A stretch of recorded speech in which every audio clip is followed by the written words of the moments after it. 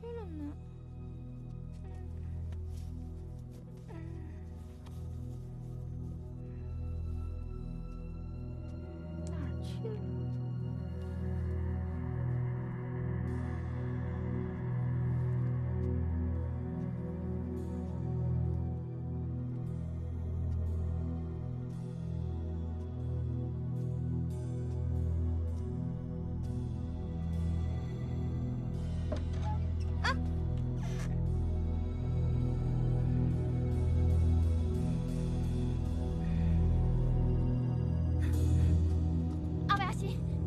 起来，柏林不见了。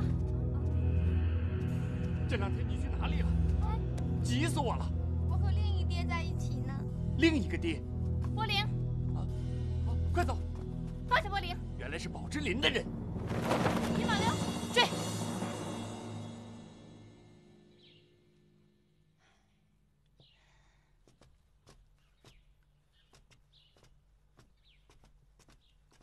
十三姨。扎大人来的正好。柏林被天麻流抢去了。为什么会这样？啊？扎大人，坐下来说。好，请请。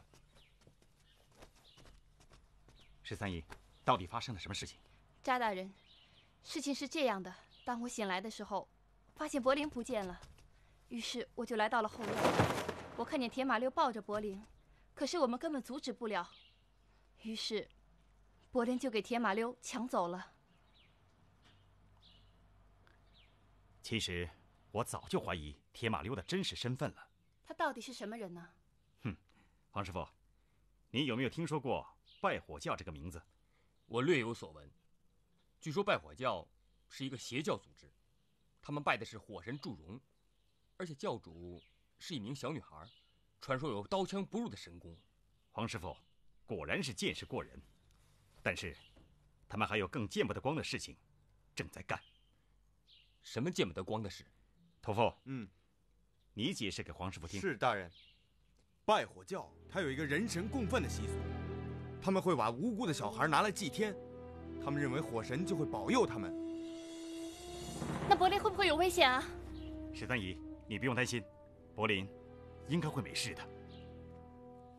放心。民团和阿宽他们都在找柏林，我相信柏林还在佛山。我这次回京接到命令，这个拜火教在我们广东的势力正在逐步扩大，他们幕后的主脑人物就是洋人，利用我们中国人打中国人，然后趁机入侵我们国土。所以，我们势必要在他们势力形成之前，先行将他们全部铲除。竟然有这种事情，我怀疑这个铁马溜。一定是拜火教的信徒，铁马溜是拜火教信徒。对，十三爷，你放心，铁马溜肯定还在镇内，我们一定会把他找出来的。嗯，你的意思是铁马溜如此在乎柏林，那柏林在拜火教的地位很重要，所以不会拿来祭天。对，二位，为了本镇的安全，在公在私，张某定将铁马溜缉拿归案。黄师傅，十三姨，张某告辞了。请告辞。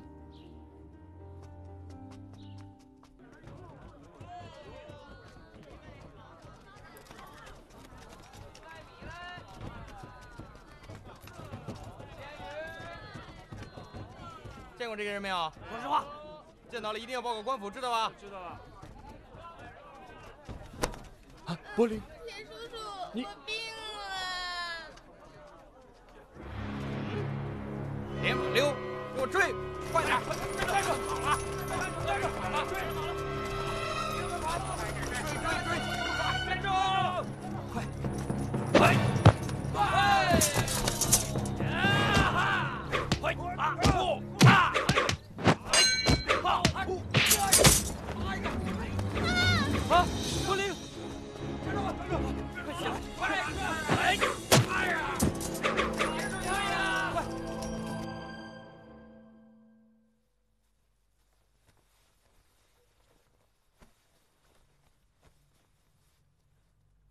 师傅，干姐姐的病到底怎么样了？十三姨只是忧虑过度，吃几副药就没事了。阿伟，去帮十三姨煎药。是师傅。师傅，干姐姐的病到底严不严重啊？心病还需心药医呀。等柏林回来，她自然就没事了。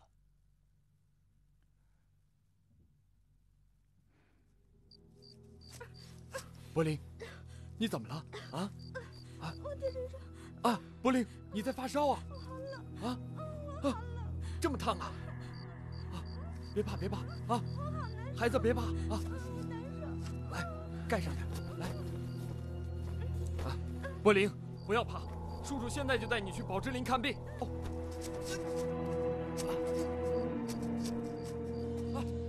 柏林，你顶住啊！马上就到宝芝林了。啊，孩子，一定要顶住啊！宝芝林就要到了。顶住！快到了，这就到了。啊！别怕，别怕。别马溜，你已经跑不掉了，你已经被我们重重包围了。林捕头，现在柏林身染重病，我只想亲自把他送到宝芝林去治病，回头我就跟你去衙门。我凭什么相信你？我把柏林交给你，总该相信了吧？嗯。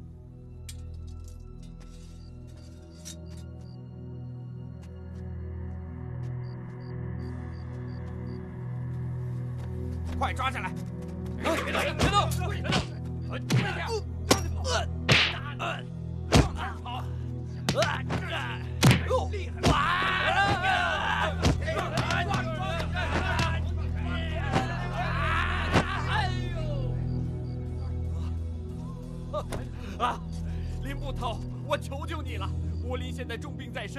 晚了就来不及了，我给你磕头了！啊！带他去宝芝林，走。是。嘿，嘿，嘿，啊！做事了，嘿。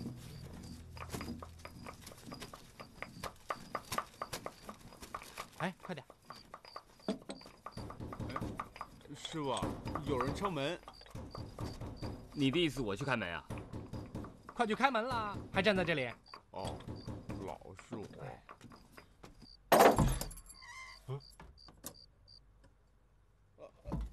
师傅，柏柏林回来了。啊！哎，柏林，林捕头，哎，怎么会这样？就是黄师傅，这铁马溜他一定要见你啊！黄师傅，看在你和柏林相识多天的份上，快救救他吧！阿宽、阿苏、阿伟、阿七，马上准备好。是师傅。交给我。哎，小心。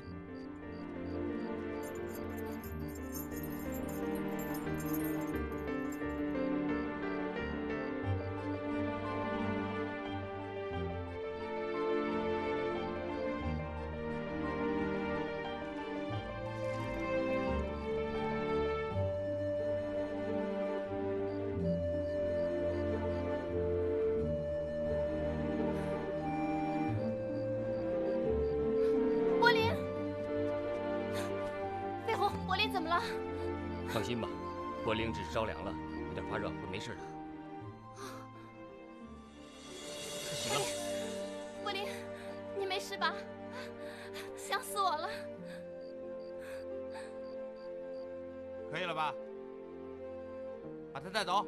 是。走。哎，走啊！柏林，你知道我多担心你啊！住手！林捕头，把铁马溜留下。你们统统离开宝芝林，快走！走走走走走了。好啊，都出去吧，给法院黄师傅救人。走啊！是。快点，走啊！快走啊！我阿七今天由衷的佩服，以前有什么得罪的地方，请多原谅。没事，严重了。铁师傅，你先请坐。多谢多谢，铁某还是站着为好啊。随你便了。今日得见铁师傅的风范，我梁宽佩服佩服。二位，哎，你们几个陪柏林警房休息。是师傅。是师傅。是。请。铁兄，嗯。黄师傅，你这样不怕扎大人怪罪于你吗？铁兄，你能够这样对柏林，我相信，你是个顶天立地的汉子。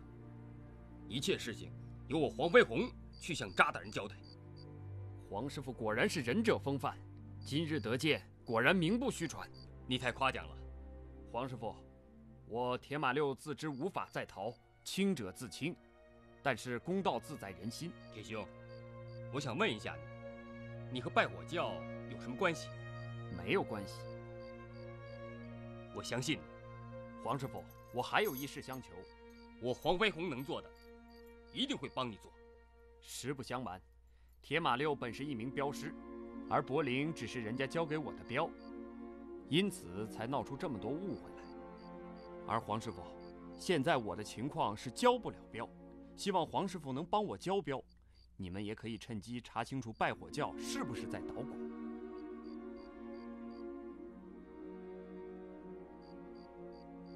好，我黄飞鸿就替你交这个镖。多谢黄师傅。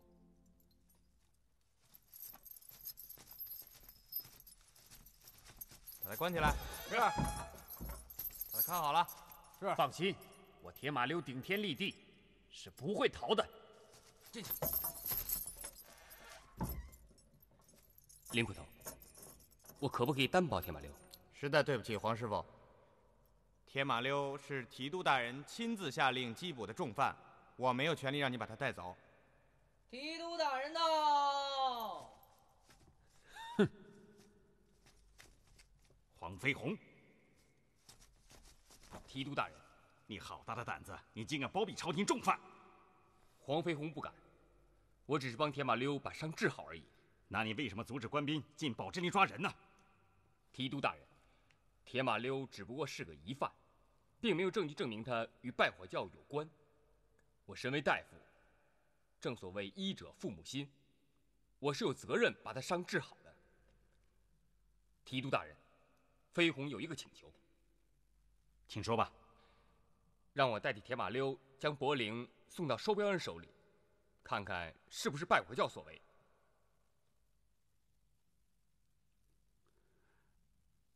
好，我答应你，希望你不要令我失望。多谢提督大人。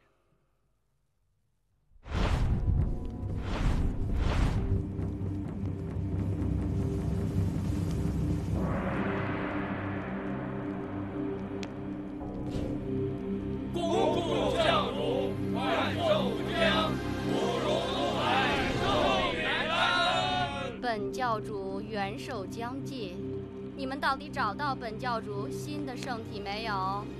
禀告教主，我们已经找到一个生辰八字与教主一模一样的圣体，但是现在京城查得严，所以我们请了一个叫铁马溜的镖师来护送圣体，估计这两天就到。本教有百年的基础，一直未能抬头得到正道人的认同，幸得洋人支持，我们才有机会可以拨开云雾。启禀教主，铁马溜已将圣体送到，现在门外等候。好，把圣体接进来。切记，铁马溜不能留活口。是，遵命。师傅，这些人打扮古怪的很，不知道是不是真的拜火教徒啊？管他呢，反正咱们大家小心一点就是了。大家镇定点。嗯，是师傅。嗯。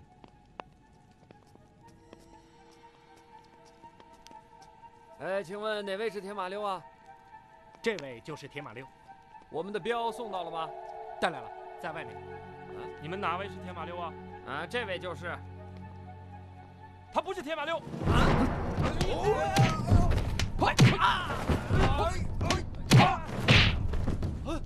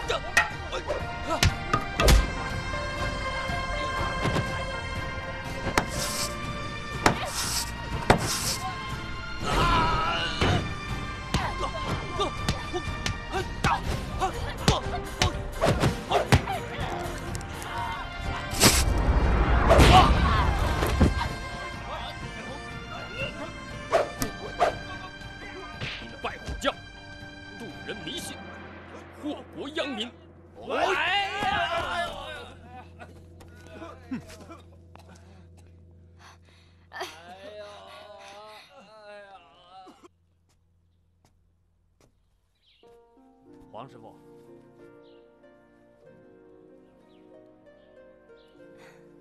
我已经和柏林在英国的叔父联系过了，现在就麻烦你帮我再送一次镖吧。在下一定不负众望。铁兄，一路小心。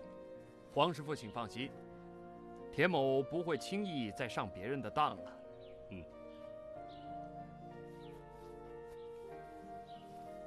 柏林，听铁叔叔话，别再调皮了。嗯。柏林啊，一路上要听铁叔叔的话，知不知道啊？知道了。嘿。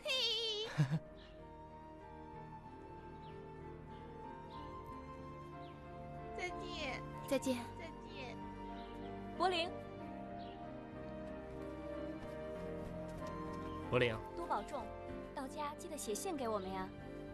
嗯，乖乖的啊，千万别忘了哥哥姐姐呀。知道了。柏林，来。好了，谢谢大家。不早了，我们也该上路了。嗯，那我们就不远送了。走吧，再见。再见。再见。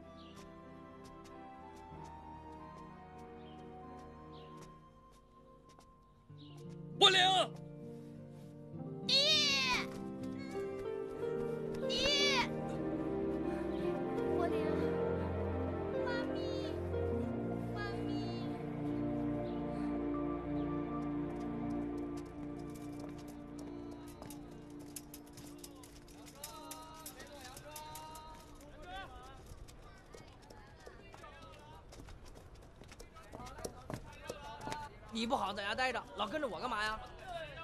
我什么我呀？以后不准你跟着我，还不回家去？还不快滚！信不信我打你我？哎，你老婆哪里得罪你了？你动不动就打她，世界上就是有你这种男人，女人才永远抬不起头来。哎呀呵，我管教我老婆，管你什么事儿？你是不是想让我连你一起打呀？哎呀！哎呀！你敢打我？我打我！哎呦！哎呦！哎呦！哎呦！摔死！摔着你了吧？摔太疼了吧？你快起来吧！哎呀，没事吧你？你看，干嘛打我男人？这种男人不要也罢，重新找一条自己的路，以后不要再给女人丢脸了，知道吗？啊，老公，没摔坏你吧？站住！站住！站住！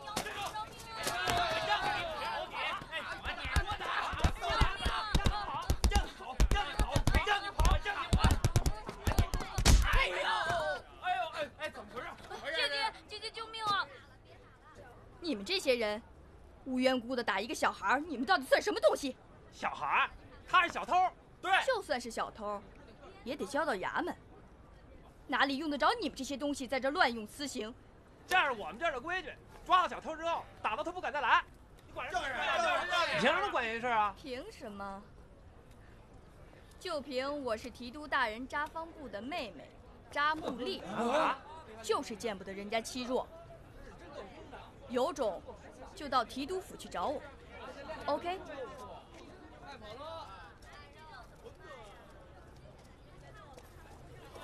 苹果，新鲜的苹果。小姐，来看看苹果，很新鲜的。哎，小姐，你是外地来的吧？你长得好漂亮啊，生得真聪明。你说什么？哎，一天一个苹果，你会更漂亮的。哎，你打人呢？你干嘛？你好大的狗胆，竟然当街侮辱本姑娘！有娘生没娘养的东西！今天我替你父母教训教训你！竟敢出口伤人！哎呦！打他！打他！哎！哎呦！我就是扎木密。你们要是有谁不服气，到提督府找我去。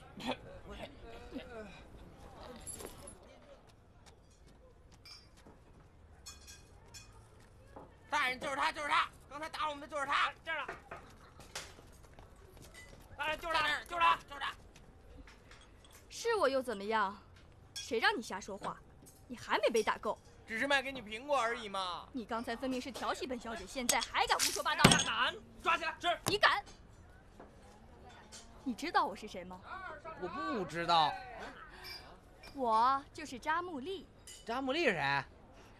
知道提督府的扎方部大人吗？又知道扎方部有个妹妹叫扎木丽吗？不知道，给我带走！慢着，住手！哎，扎大人，这女的说是你妹妹。闭嘴吧你！哥，我想死你了，我想死你了！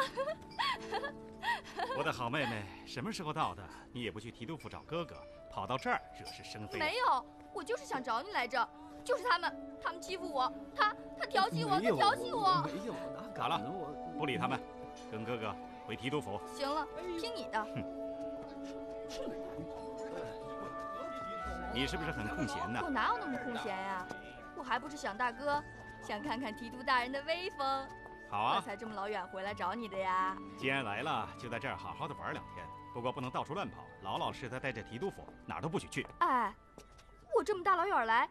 你就让我待两天呀？那你要住多久？那怎么也得住个三五个月呀，多陪陪大哥呀。好好好，走走走。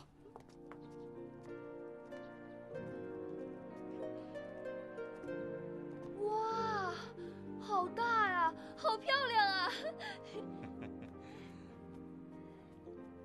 哇，真威风，你真了不起！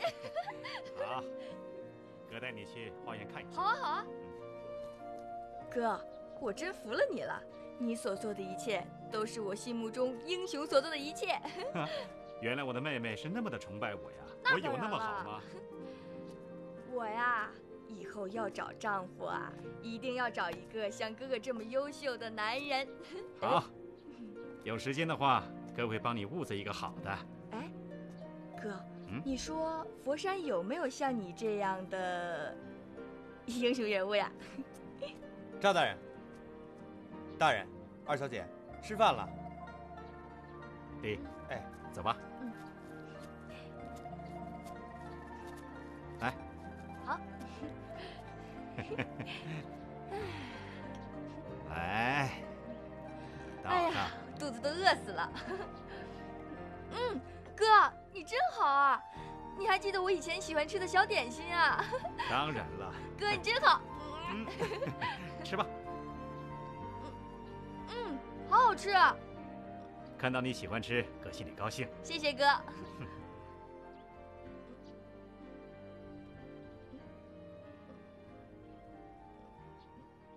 嗯，这这什么东西嘛？对不起啊。甜不甜，咸不咸的？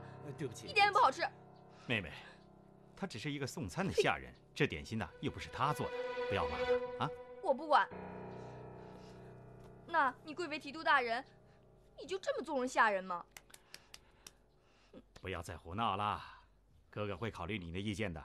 我不管，你要把他辞退，要不然会丢你的脸的。好好好，妹妹，不要再任性了。好，我会考虑你的意见的。不过你这个样子，这种脾气，你让我怎么放心呢？有什么好担心的？我功夫也不比你差，打架我可没有输过谁啊。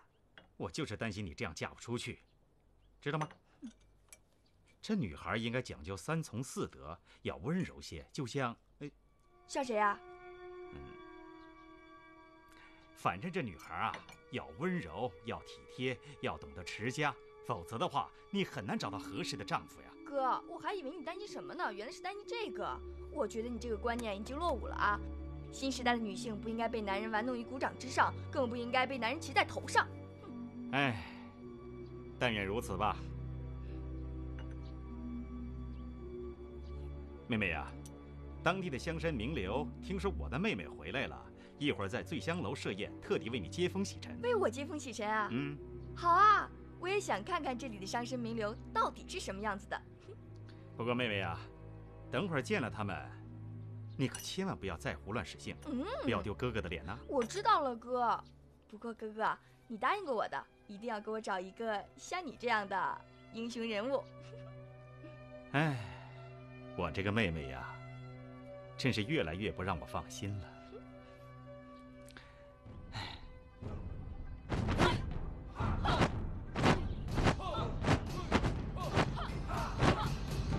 连任何拳师一样，最后都要实践，跟我对打。师傅，那我来吧。这，嚯，嘿。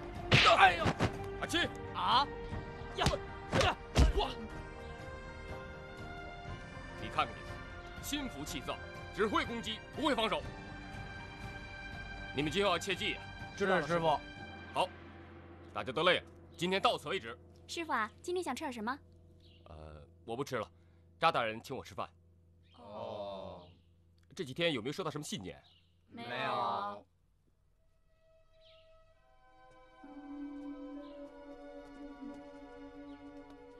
唉，我也很想干姐姐呀，她去省城都快一个月了，也不知道什么时候能回来呀。哎，我也想十三姨，还有十三姨那个牛排套餐。各位，我给大家介绍一下，这是我妹妹扎木丽，刚从西洋留学回来。原来刚从西洋回来，怪不得穿洋装呢。是啊是啊，就不一样了。阿丽呀，赶快向各位老板请安。Nice to meet you. Nice to meet you. 二小姐，你说什么呀？呃，立誓，这还没过年呢。我是在说西洋话，很高兴认识你。哦呀，小样啊。啊，呃，大家坐，坐吧，坐吧。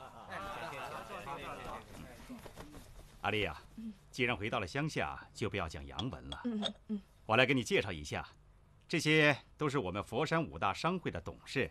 这位是刘老板，这位是丁老板，丁老板好。这是马老板，马老板好。这是赵老板，赵老板好。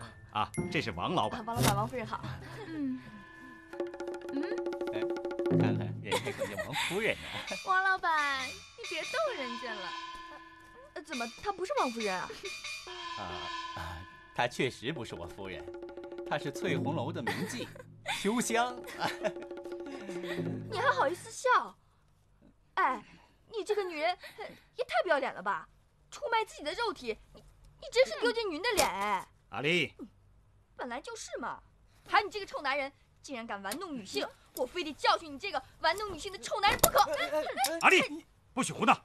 王老板，不好意思啊。阿丽，阿丽，不要胡闹！你不要你够了没有？不要拦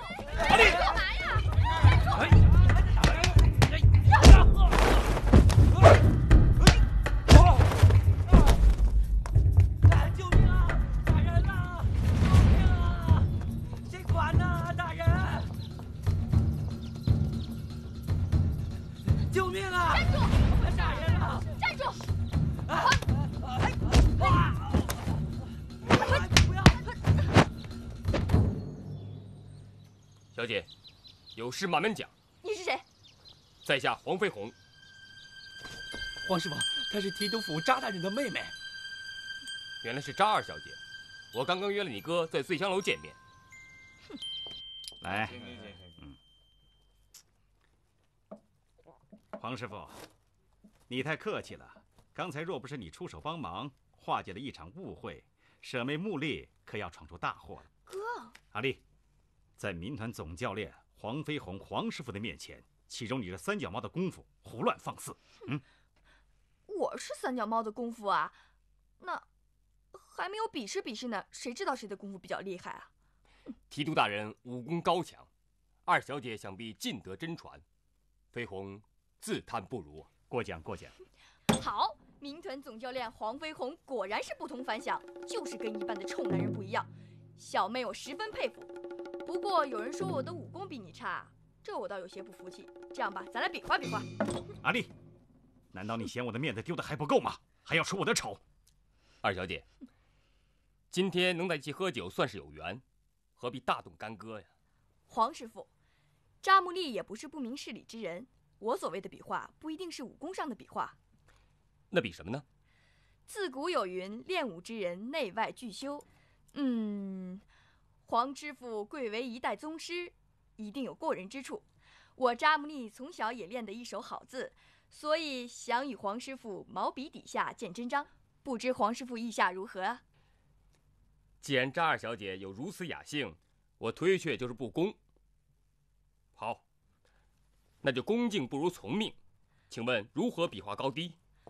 黄师傅，比赛规则如下：第一，字体要工整；第二，所写之字一定要打动在场之人；第三，一定要在一炷香之内完成。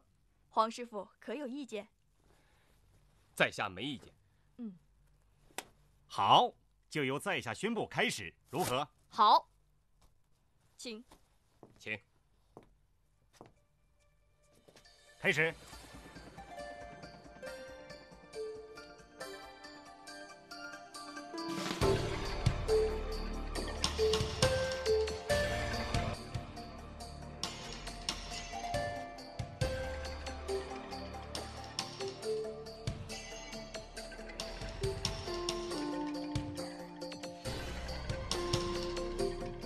师傅，这时间可差不多了。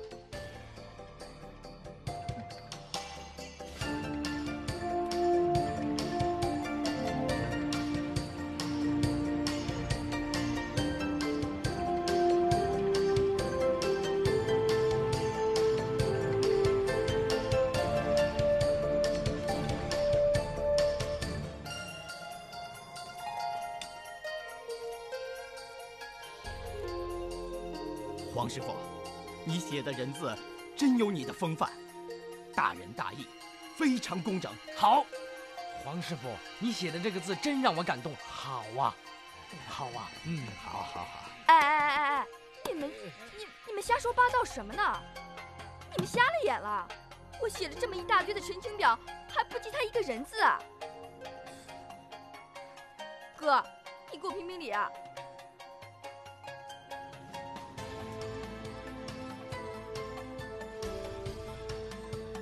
哈哈，伯父在，你学问高，你来点评点评啊。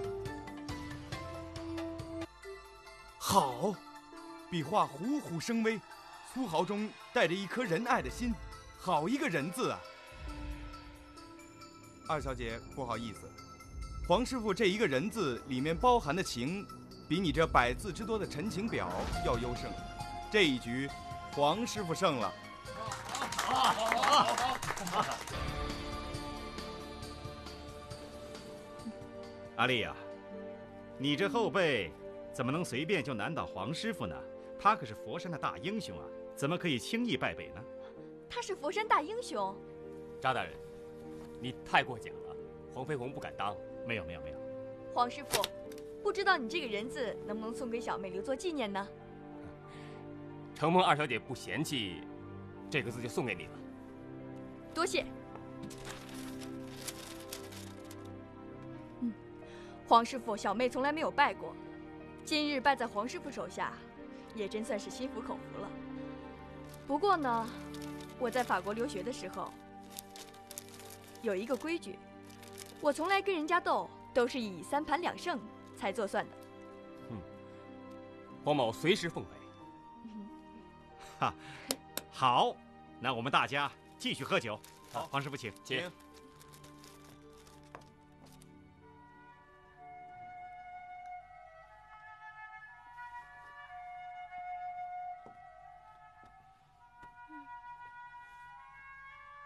阿丽呀，你今晚怎么了？神不守舍的，是不是喝多了？没有啊，哥，你在说什么呀？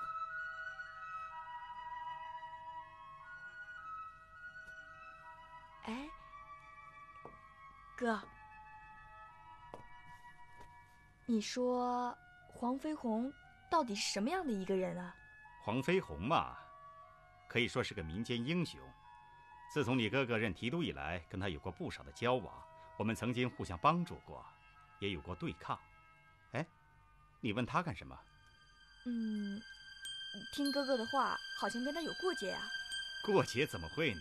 我怎么会跟他有过节呢？哥，你别骗我了，一定有的。没关系啊，你说出来，妹妹一定会帮你的。他跟你有过节，就当然跟我有过节了。嗯，你要是需要的话，我就帮你教训他。真的吗？你真的会这么做吗？哎呀，当然会这样了。哥，你这话是什么意思呀？阿丽呀，我问问你，你为什么跟黄飞鸿开出三盘两胜的局呢？哼，我是你的哥哥，我很了解你。你能开出三盘两胜来，这说明你已经喜欢上了黄飞鸿，你只是想借打赌的机会跟他接触罢了。你胡说啊你！算了吧，我劝你还是打消这个念头吧，因为黄飞鸿已经有心上人了。真的吗？阿丽呀，哥哥是怕你用错了情。他已经有心上人了。是谁啊？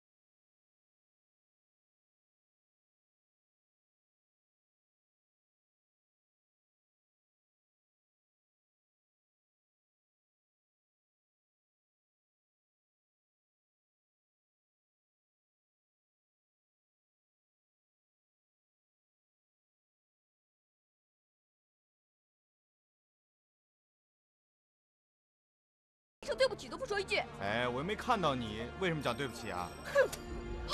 你以为我不敢打女人吗？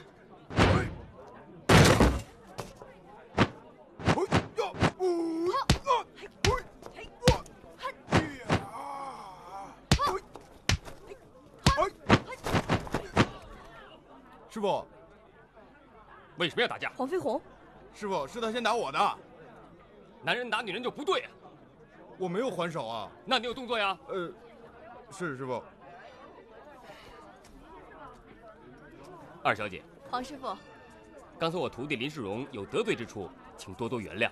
你不要左一句二小姐，右一句二小姐的，叫我穆丽好了。穆丽小姐，久闻黄师傅武功冠绝省城，改日我一定要到宝芝林登门拜访，请您教我一些拳脚功夫。啊，岂敢岂敢！我黄飞鸿只是一介武夫。日后有机会切磋切磋，告辞。阿荣，啊啊，回宝芝林。呃，是师傅。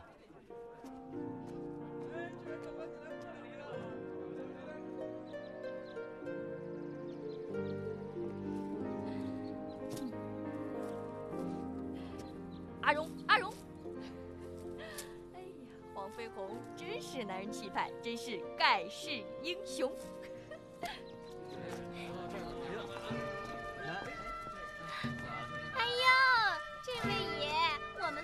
的姑娘貌美如花，又会饮酒，琴棋书画样样都能保你满意。哟，大爷呀，保你满意。翠红院。大爷，我走吧，你保证不收你钱。哎，好好好嘞，哎，去吧去吧，走好啊，哎，走好啊。翠红院，这是什么乌烟瘴气的地方？哎哎哎，我们这儿翠红院女人不可以进的，哎。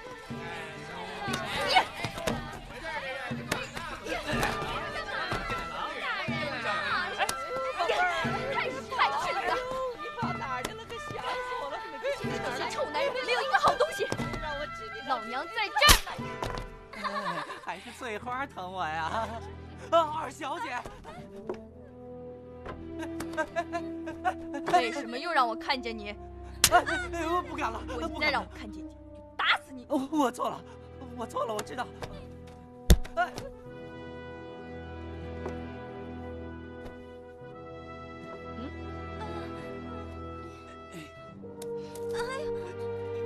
你们为什么要被男人玩弄于股掌之上，让女人一点尊严都没有？